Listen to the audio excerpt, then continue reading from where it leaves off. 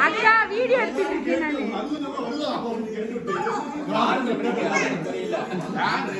பாத்துக்கோங்க